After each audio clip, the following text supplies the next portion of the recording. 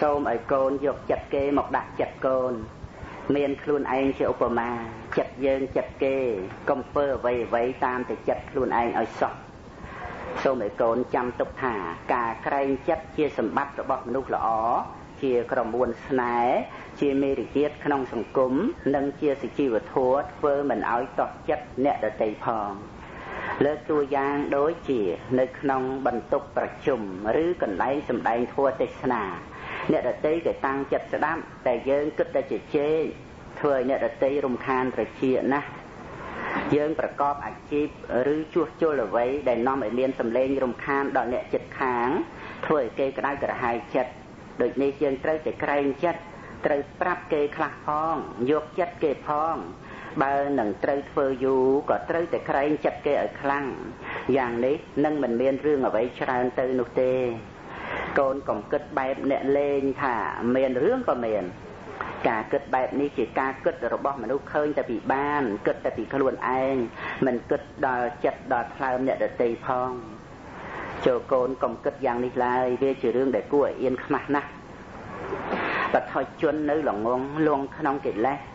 ដូច្នេះចូលប្រឹងកុំខឹងពះវាលខ្សែគប់បណ្ឌិតពិតកុំរយាលកុំខ្ជិលដេកត្រៀលកុំអួតខ្លួនឯង មើលចុះភ្នំធំក៏គង់រលាយទឹកបឹងទាំងឡាយហួតដោយសោសែងខ្លួនយើងតូចម្លឹងត្រូវប្រឹងកោតក្រែងកុំលើកខ្លួនឯងត្រូវក្រែងចេះគេ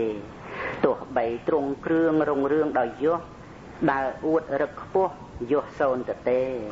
ទ្រង់ចិត្តដោយធัวកាយមិនទំនេរមកត់សិលលើសេគេឯងបានសុខ15ប្រយ័ត្នពាក្យផ្អែម កូនជាទីស្រឡាញ់កូនគួរប្រយ័ត្នពាក្យនិយាយរបស់អ្នកដទៃដោយចំពោះពាក្យផ្អែមល្ហែមទឹកអំពៅទឹកថ្នោតដែលមានរសផ្អែមកាលបើទុកយូរទៅហើយត្រូវផ្សំនឹងមេផងក៏คล้ายទៅជាទឹកស្រវឹងយ៉ាងណាមិញពាក្យសម្ដីផ្អែមល្ហែមរបស់មនុស្សខ្លះក៏អាចធ្វើឲ្យយើងស្រវឹងបានយ៉ាងនោះដែរ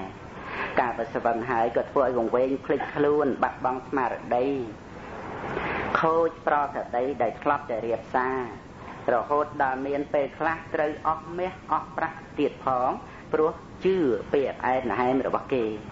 សូមកូនពិចារណាឲ្យបានល្អអ្នកណាអ្នកណាមកនិយាយផ្អែមល្ហែមលើកតម្កើងកូនថាកូនល្អយ៉ាងនេះពូកែយ៉ាងនោះកូនត្រូវតែប្រយ័ត្នឲ្យមែនទែនកុំប្រញាប់ស៊ីចូលរីករាយសប្បាយភ្លេចខ្លួនឲ្យសោះបើកូនមិនស្រវឹងនឹងពាក្យផ្អែមល្ហែមរបស់អ្នករតីទេកូននឹងមិនក្តៅក្រហាយស្ដាយក្រោយឡើយ ត្រីដែលស្លាប់ទៅហើយមួយចំណែកនោះព្រោះត្រូវគេបញ្ឆោតដោយនុយដោយលំនៅឋានជាដើមបើវាមិនតាក់ចិត្តជាប់នឹងគ្រឿងបញ្ឆោតទេវាក៏មិនស្លាប់ដែរ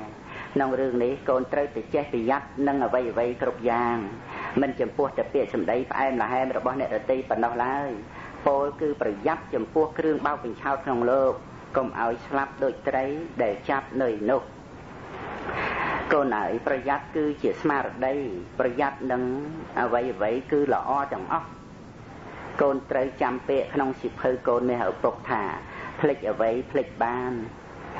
តែបើភ្លេចប្រានឈានធ្លាក់រណ្ដៅបើបានជាផ្្លាត់មិនតន់ធ្លាក់ជ្រៅប្រឹងឡើងណាពៅកុំនៅនាំជ្រុលខូចអ្វីមិនគ្រោះតែបើខូចឈ្មោះមិនងាយជួសជុលកូនត្រូវប្រយ័ត្ន កុំងប់ងងល់កាមជាគ្រឿងពុលខូចអស់ទាំងខ្លួនខូចខ្លួនខូចឈ្មោះខូចនេះពេញគ្រោះរស់លេងសុខសួន តែទោះយ៉ាងណាកុំឲ្យខូចខ្លួនកុំឲ្យខូចផ្ទួនត្រូវប្រឹងកែខ្លួនកុំចោលអាត្មាចោលអ្វីចោលបាន តែកុំចោលប្រានក្នុងវត្តសង្សារព្រោះតែលោកនេះ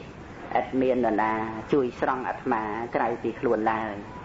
កូនត្រូវរក្សាការពារអាត្មាឲ្យបានដល់ត្រើយដោយការប្រយ័ត្ននិងមិនកន្តើយប្រយ័ត្ននឹងហើយជាព្រះក្នុងខ្លួនប្រយ័ត្នជាម្ដាយញ៉ាំងគុណទាំងឡាយឲ្យកើតមមួនអត់ធន់ជាឪរក្សាគ្រងស្ងួនគុណធម៌ក្នុងខ្លួនដោយខែខាងខ្នើតខន្តីដោយឆ្នាំលេបជាប្រចាំរសជាតិល្វីងឆើតលំបាកទ្រាំណាស់ លុះដល់ផលកើតរសជាតិល្វីងឆើតមានគុណកប់ហង16សរសើរដន្ទាជាខ្យល់មាត់កូនជាទីស្រឡាញ់ពេលមានអ្នកដតីមកនិន្ទាឬសរសើរកូនកូនត្រូវតាំងសតិឲ្យល្អកុំបណ្ដោយទៅតាមខ្យល់មាត់របស់គេជាដាច់ខាតកូនត្រូវគិតមើលតើពាក្យសរសើរឬនិន្ទានោះពិតឬយ៉ាងណាអាក្រក់តាមគេថាដែរឬទេ បើថាពិតយ៉ាងនោះមែនក៏មិនគួរខឹងក្រោតនឹងគេបើថាមិនពិតទេគ្រាន់តែកូនគិតថាគេមិនស្គាល់ឬមិនដឹងរឿងរបស់កូនតាមពិតប៉ុណ្ណឹងទៅដូច្នេះរឿងរ៉ាវក៏មិនរៀលដាលទៅធំដុំអ្វីឡើយយ៉ាងទៀតបើថាកូនល្អតាមការសរសើររបស់គេមែនក៏បញ្ជាក់ថាគេដឹងរឿងរបស់កូនតាមពិតគ្រាន់តែប៉ុណ្ណឹងឯងតែបើមិនល្អដូចគេសរសើរទេ កូនក៏មិនគួររីករាយសប្បាយចិត្តព្រមទទួលយកអ្វីដែលមិនមែនជាការពិតនោះដែរបើគិតបានធ្វើចិត្តបានដោយពលមនេះក៏រមែងមិនមានអាការៈឡើងចុះនៃចិត្តទៅតាមពាក្យនិន្ទានិងពាក្យសរសើរដែរនិន្ទាឬសរសើរគ្រាន់តែជាខ្យល់មាត់របស់មនុស្សដែលបក់ផាត់មកដល់ហើយក៏ហួសទៅ វាមិនអាចធ្វើឲ្យយើងល្អឬអាក្រក់បានឡើយអ្នកណាវង្វេងទៅជាមួយពាក្យសរសើរឬនិន្ទាអ្នកនោះនឹងកើតរោគសរសៃប្រសាទឬរហូតដល់វិកលចរិតជាពិតប្រកបសំខាន់នៅពេលគេដើរហាលថ្ងៃគេថាថ្ងៃក្តៅអាក្រក់ណាស់លុះដល់គេហាលអស់ហាលសម្ពុតអាវគេថាថ្ងៃក្តៅល្អមានអ្វីផ្កប់ចិត្តមនុស្សលោកត្រូវគ្រប់យ៉ាងនិងគ្រប់គ្នាបានទៅ កូនត្រូវចាំពាក្យក្នុងសិភៅម៉ែព្រះច័ន្ទនឹងថ្ងៃឥតមានដឹងអ្វីតែត្រូវប្រុសស្រីនិន្ទាសរសើរពពករស័ព្ទដូចមានស្លាប់ហើភ្លៀងខ្យល់ដេកដើរគេថាទាំងអស់បួសជាប្រសង់នៅគេរិះគន់ធ្វើចោលលួចប្លន់គេតន់ដាក់ខ្នោះត្រាស់ជាប្រពុតនៅគេមិនស្មោះធัวល្អឥតខ្ចោះគង់មានគេស្អប់សរសើរនិន្ទាមានពីបុរាណកាន់យកមិនបានតាមពាក្យតោះកន់ បើកូនតាមប្រាជ្ញកូននឹងមានផមត្រូវមួយខុស10កុំយកខាងច្រើន17សម្លឹងមនុស្សល្អឬអាក្រក់កូនជាទីស្រឡាញ់ការដែលកូនលើកតម្កើងឬព្រមទទួលអ្នកណាថាជាមនុស្សល្អនោះកូនត្រូវសម្លឹងមើលឲ្យបានសពគ្រប់និងឲ្យជាក់ច្បាស់ជាមុនសិនកូនត្រូវសម្លឹងមើលឲ្យបានយូរខែយូរឆ្នាំកុំគិតតែចំពោះមុខកូនប៉ុណ្ណោះ គេអាចល្អចំពោះកូន គឺគេជួយកូន គេនិយាយល្អរកកូនដូច្នេះជាដើមម្ល៉េះហើយកូនមិនបានមើលឲ្យសពគ្រប់កូនក៏គិតថា គេជាមនុស្សល្អអញ្ចឹងទៅតាមពិតមនុស្សដែលល្អចំពោះកូន មិនតន់ប្រកាសថាគេជាមនុស្សល្អពិតពិតនោះទេព្រោះគេអាចសម្លឹងអ្វីពីកូន ឬកូនអាចធ្វើនៅអ្វីដែលគេត្រូវការឲ្យគេបាន ឬយ៉ាងហើយព្រោះកូនមិនបានទៅជំទាស់នៅផលប្រយោជន៍អ្វីរបស់គេទៅគេធ្វើល្អនឹងកូនទៅពុំនោះសោតទេ គឺព្រោះកូនជាប្តីជាប្រពន្ធឬជាបងប្អូនជាមួយនឹងគេមនុស្សដែលល្អពិតពិតនោះ គឺល្អចំពោះកូនផងល្អចំពោះអ្នកដតីផង មានទំនងដូចគ្នាដែរ ដែលគេធ្វើល្អចំពោះអ្នកដតីតែមិនបានធ្វើល្អចំពោះមកលើកូន គឺមិនមែនបានសេចក្តីថា គេជាមនុស្សមិនល្អនោះទេ មនុស្សដែលមិនល្អនោះ គឺត្រូវមិនល្អទាំងចំពោះកូនផង ទាំងចំពោះអ្នកដតីផងដែលម៉ែឪលើកយករឿងនេះមកប្រាប់ដល់កូនក៏ដើម្បីឲ្យកូនដឹងទុកតទៅមុខនិងមិនបានជឿគេងាយងាយមិនត្រូវបានគេបោកបញ្ឆោតម្យ៉ាងទៀតកូននឹងមិនបានពលរកអ្នកដតីណាណាថាគេជាមនុស្សល្អឬមិនល្អដោយងាយងាយនោះឡើយគឺម៉ែឪមិនចង់ឲ្យកូនសម្លឹងមើលមនុស្សក្នុងផ្នែកល្អឬផ្នែកអាក្រក់ដោយចំណែកតែម្ខាងម្ខាងនោះឯង18ឆ្នាំរក្សាចិត្តកូនជាទីស្រឡាញ់ដែលឈ្មោះថាជាទុកហើយ គឺមិនមានអ្នកណាប្រាថ្នាឡើយ ប៉ុន្តែគ្រប់គ្នាក៏រមែងមានទុកជាប់តាម មានទុកខ្លាំងមានទុកតិចចេះតែមានជាធម្មតា ទាំងដែលគ្រប់គ្នាមិនប្រាថ្នានោះឯងទុកមានពីរយ៉ាងគឺទុកផ្លូវកាយនិងទុកផ្លូវចិត្តទុកផ្លូវកាយរងាប់បានដោយអាហារគ្រឿងឆ្លៀកពាក់ទីនៅអាស្រ័យនិងថ្នាំកែរោគឯទុកផ្លូវចិត្តវិញត្រូវរក្សាដោយព្រះធម៌ ព្រះធម៌ជាថ្នាំកែរោគផ្លូវចិត្តជាថ្នាំកម្លាំងជំនួយឲ្យចិត្តមានកម្លាំងមានសុខភាពល្អនិងជាទីពឹងផ្លូវចិត្តមនុស្សយើងការដែលមានរោគផ្លូវកាយបានអាហារបានថ្នាំជាដើមមកបរិភោគថែរក្សាក៏ស្ងប់រងាប់ទៅនៅរោគផ្លូវកាយនោះឯចំណែករោគផ្លូវចិត្តវិញគឺចាំបាច់ត្រូវយកប្រធัวមកថែរក្សាទៅបានសេចក្តីនេះកូនត្រូវទៅយល់ឲ្យបានច្បាស់មនុស្សណាដែលមិនឃើញការពិតដូច្នេះ មនុស្សនោះនៅពេលមានទុកផ្លូវចិត្តកើតឡើងក៏រមែងជាទុកដោយប្រសិជ្ជៈទីពឹងសោកសៅពោលរៀបរាប់ឬក៏ស្រែកលោឡាបន្ទោសនេះបន្ទោសនោះចំណែកមនុស្សដែលមានបញ្ញា ដឹងទុកផ្លូវចិត្តថាជារោគក្រមែងស្ដាប់ធัวរៀនធัวពិចារណាធัวនិងបប្រតិបត្តិតាមធัวដើម្បីរក្សារោគចិត្តឲ្យដូចជាការរក្សារោគផ្លូវកាយដែរ ម្ល៉េះហើយក៏ជាអ្នកមានប្រធัวជាទីពឹង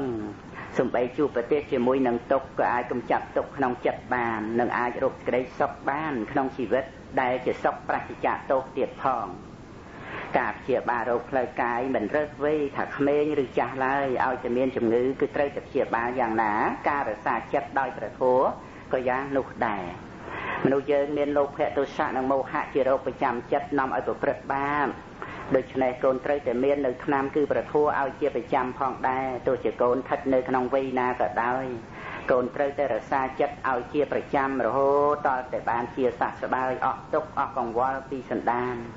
ចូលកូនវឹកហាត់ឲ្យមានការយល់ដឹងច្បាស់អំពីព្រះធម៌ទីបំផុតកូននឹងដឹងថាព្រះធម៌នោះល្អយ៉ាងណាចូលកូនពិចារណានៅកំណាប់នេះរូបសល្អរៀងគួរស្រឡាញ់ តែចាញ់ល្អចិត្តគំនិតជា មិនយូរប៉ុន្មានរូបជរាឯចិត្តល្អជាមិនចាស់ឡើយចូលកូនប្រុសស្រីកុំបំភ្លេចធัวថ្លៃជាងពេជ្រនាំដល់ត្រើយមានរូបមានរោគឥតស្រាកស្បាយកូនអើយព្រះធัวមិនចេះឈឺបើកូនរៀនធัวអប់រំចិត្តប្រព្រឹត្តសុចរិតចិត្តកូនភ្លឺជីវិតត្រូវស្លាប់រូបត្រូវឈឺប៉ុន្តែចិត្តភ្លឺមិនស្លាប់ទេ 19ការគ្រប់គ្រងចិត្តមនុស្សកូនជាទីស្រឡាញ់ជាវាយនេដែលមានចិត្តល្អមានយុត្តិធម៌ចេះយល់ចិត្តយល់ថ្លើមនិងជាគ្នាឯងជាមួយកូនចៅមិនយកព្រៀបមិនសង្កត់សង្កិនបៀតបៀនកូនចៅរមែងធ្វើឲ្យកូនចៅកក់ក្ដៅក្នុងចិត្តនឹងឲ្យនៅសេចក្តីគោរពកោតក្រែងទាំងទីចំពោះមុខទាំងទីកំបាំងមុខត្រឡប់មកជាវាយនេវិញព្រមទាំងចងចាំទុកនៅចិត្ត ណាព្រមទាំងចងចាំទុកក្នុងចិត្តនៅគុណធម៌ទាំងឡាយរហូតដល់អស់ជីវិតនៃពួកគេទៀតផងបើកូនមានឱកាសបានធ្វើជាចវាយនេគេឬជាអ្នកបង្កប់បញ្ជាគេ កូនត្រូវកុំភ្លេចពាក្យម៉ែពាក្យឪត្រង់សេចក្តីនេះឲ្យសោះនេះបើកូនប្រាថ្នាឲ្យកូនចៅដែលនៅក្រៅបង្កប់របស់កូនស្រឡាញ់កក់ក្ដៅក្នុងចិត្តនិងគោរពស្រឡាញ់ដោយស្មោះនោះ កូនធ្វើឲ្យអ្នកនៅក្រោមអាវាតរបស់កូនស្រឡាញ់ពេញចិត្តគោរពស្មោះស្ម័គ្រនេះជាការប្រសើរណាស់ឯការដែលធ្វើឲ្យគេគ្រាន់តែខ្លាចតែមិនគោរពកោតក្រែងនោះមិនប្រសើរឡើយអ្នកគ្រប់គ្រងគេកាលបើប្រើតែព្រះដែកច្រើនជាងព្រះគុណរមែងមានតែមនុស្សចេះខ្លាចប៉ុន្តែមិនកក់ក្ដៅក្នុងចិត្តនិងមិនស្រឡាញ់ស្ម័គ្រស្មោះឡើយចំណែកអ្នកដែលប្រើព្រះគុណច្រើនជាងព្រះដែក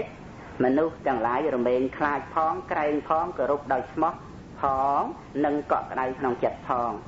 យ៉ាងនេះហៅថាអ្នកគ្រប់គ្រងគេបានទាំងកាយបានទាំងចិត្តអ្នកធំដែលប្រាថ្នានឹងគ្រប់គ្រងចិត្តមនុស្សដោយប្រើអំណាចបង្កប់បញ្ជាដើម្បីឲ្យគេគោរពកោតខ្លាចនោះគឺជាការយល់ខុសដោយពិតអំណាចពិតប្រកបកើតអំពីការសាងនូវភាពកក់ក្ដៅឲ្យដល់កូនចៅជាសំខាន់ ភាពកក់ក្ដៅដែលបង្កប់ទៅដោយមនោសញ្ចេតនាស្និទ្ធស្នាលគោរពស្រឡាញ់ហើយដកជាប់ក្នុងក្រហៅបេះដូងរមែងកើតពីការឲ្យ ការអើពើ និងការយកចិត្តទុកដាក់ដូចជាការឲ្យប្រាក់ឲ្យរបស់របរប្រើប្រាស់ឲ្យកម្លាំងចិត្តឲ្យភាពជាគ្នាឯង ឲ្យពាក្យណែនាំដែលល្អល្អឲ្យពាក្យពីរោះមានប្រយោជន៍ឲ្យអភ័យឲ្យភាពកក់ក្ដៅបីដូចជាឪពុកម្ដាយរួមទាំងការឲ្យនៅកិត្តិយសឲ្យភាពពងពោះហាក់ដូចជាតាំងនៅក្នុងឋានៈស្មើគ្នាទៀតផងប៉ុណ្ណេះជាដើមបើកូនត្រូវការនឹងគ្រប់គ្រងចិត្តមនុស្សកូនត្រូវចេះសង្គ្រោះចេះឲ្យនៅអ្វីអ្វីដោយក្តីមេត្តាករុណា ហើយត្រូវឲ្យជារឿយរឿយទៀតផង 20ការទទួលខុសត្រូវកូនជាទីស្រឡាញ់ការកូនធ្វើការងារជារបស់ខ្លួនឯងឬការបានទទួលនៅការងារដែលអ្នកដតីប្រគល់ឲ្យធ្វើចំណុចសំខាន់ដែលកូនត្រូវយកចិត្តទុកដាក់ខ្លាំងបំផុត គឺការទទួលខុសត្រូវការទទួលខុសត្រូវគឺការដែលមាននៅការតាំងចិត្តមានភាពប្រកបក្នុងចិត្តដើម្បីនឹងធ្វើនៅការនោះនោះ ដើម្បីឲ្យការងារទាំងនោះសម្រេចទៅដោយរៀបរយល្អនិងតាន់តាមពេលដែលបានកំណត់ទុកអ្នកទទួលខុសត្រូវក្នុងការងារមិនចាំបាច់ឲ្យអ្នកណាមកប្រំលឹកដាស់តឿនមកបង្ខំជារឿយរឿយនោះឡើយរមែងជាអ្នកដាស់តឿនខ្លួនឯងជានិច្ចមានស្មារតីដឹងថានេះជាការងារដែលខ្លួនត្រូវធ្វើមនុស្សដែលចេះទទួលខុសត្រូវក្នុងការងារគឺជាមនុស្សដែលពួកគណៈត្រូវការ ហើយប្រទេសជាតិក៏ត្រូវការដែរមនុស្សចេះទទួលខុសត្រូវរមែងចម្រើនក្នុងការងារជីវិតឈានទៅរកភាពរុងរឿងប្រសើរឡើងប្រសើរឡើងផ្ទុយពីមនុស្សដែលខ្វះស្មារតីទទួលខុសត្រូវមនុស្សដែលខ្វះស្មារតីទទួលខុសត្រូវរមែងលេះលោះក្នុងការងាររបស់ខ្លួនមិនគោរពទួនាទីរបស់ខ្លួនធ្វើការងារអ្វីអ្វីបែបមិនពេញចិត្តរើសអើងក្នុងការងារចង់តែសនុកស្រួលចង់បានតែប្រាក់ចង់តែបញ្ជាគេឡា កូនយល់ដឹងក្នុងរឿងនេះហើយកូនត្រូវវឹកហាត់ឲ្យជាមនុស្សចេះទទួលខុសត្រូវវិធីវឹកហាត់មិនជាលំបាកប៉ុន្មានទេ គឺផ្ដើមដោយការដាស់តឿនខ្លួនឯងឲ្យបានជាមុនដាស់តឿនខ្លួនឯងថានេះជាតួនាទីរបស់យើង ជាការងាររបស់យើង ជារឿងរបស់យើង ដែលខ្លួនយើងនឹងត្រូវចាត់ចែងធ្វើលុះដល់ពេលចុះដៃធ្វើ កូនត្រូវជាយាមធ្វើឲ្យល្អជាទីបំផុត ធ្វើឲ្យពេញសមត្ថភាពដែលមានបញ្ចេញកម្លាំងបញ្ចេញការចេះដឹងឲ្យពេញទីហើយផលដែលត្រូវទទួលបានក៏នឹងកើតឡើងដល់ខ្លួនកូន គឺកូននឹងបានទទួលផលដោយត្រង់ការដាស់តឿនខ្លួនឯងជានិច្ចកាលរមែងធ្វើឲ្យភាពនៃការទទួលខុសត្រូវសន្សំសន្សំកើតឡើងដល់កូនលុះដល់យូរទៅកូននឹងคลายទៅជាអ្នកចេះទទួលខុសត្រូវម្នាក់ដល់ប្រសើរ កូនសម្លាញ់ទ្រព្យសម្បត្តិមិនមែនជារបស់ចាំបាច់ក្នុងការដែលឪពុកម្ដាយត្រូវប្រគល់ឲ្យដល់កូននោះទេ